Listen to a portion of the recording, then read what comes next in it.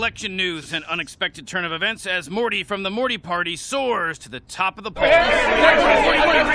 Yes, Morty, what's your original reality and where's your Rick? Gosh, we moved around so much it's hard to remember. I see every Rick as my Rick. I hope they see me as their Morty. Another, please, with less water. Hey, cheer up, pal. A Morty's gonna be president. Imagine this kisser getting blamed for everything. I guess I should have had more faith. It's not faith you need, it's fear. What's this?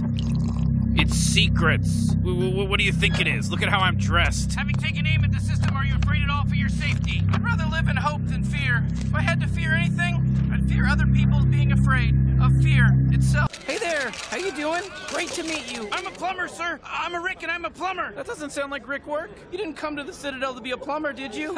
I sure didn't, sir. Mr. Morty, Mr. Morty, I cloned myself so you could kiss me as a baby. this is just like a Morty baby. Hey, did you uh, end up getting a new job? Yeah, I did. Assassinating.